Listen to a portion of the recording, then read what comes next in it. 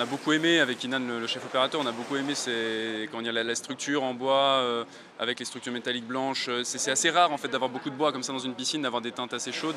Cette piscine, c'est celle d'Épinal. Jeudi et vendredi dernier s'y sont tournées plusieurs scènes d'un court-métrage franco-belge, l'histoire d'un jeune homme victime de violence. Dans le monde du sport, la parole commence seulement à se libérer. Récupération, on fait 200 mètres en souple avec les palmes et on recommence. Dans le sport masculin, il y a une, encore, je dirais, je ne vais pas faire de, voilà, de, de comparaison, mais il y a quand même une, presque une charge encore plus lourde du fait qu'il y a d'autant plus ce refus d'être victime parce qu'on doit être un homme viril, un champion, etc.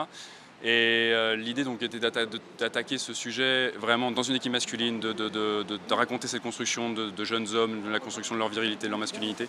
Une histoire qui commencera d'ailleurs par ce long travelling menant vers le bassin jusqu'au cœur du groupe de nageurs qu'on voit s'encourager, qu'on voit ses complices, sentir leur complicité, leur amitié, qui se connaissent depuis longtemps. Voilà, c'était vraiment installer le groupe et installer le personnage principal euh, avec ce plan.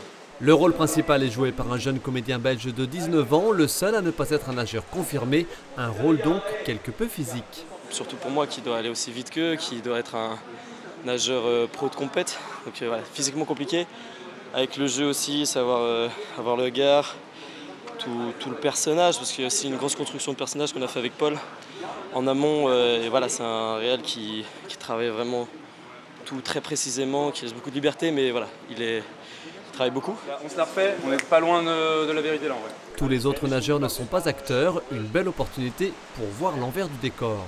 J'ai découvert euh, par, euh, par, Facebook l'annonce et j'ai postulé, et puis voilà, je me retrouve ici aujourd'hui. Super intéressant. Ouais, ouais c'est une première expérience dans le cinéma, ouais, c'est assez incroyable. Le tournage du court-métrage Un bon garçon s'est poursuivi ce début de semaine à Épinal dans trois autres lieux, une maison, un hôpital et une friche commerciale. Rendez-vous sur les grands écrans au printemps prochain. Et coupé, merci Et c'est coupé, merci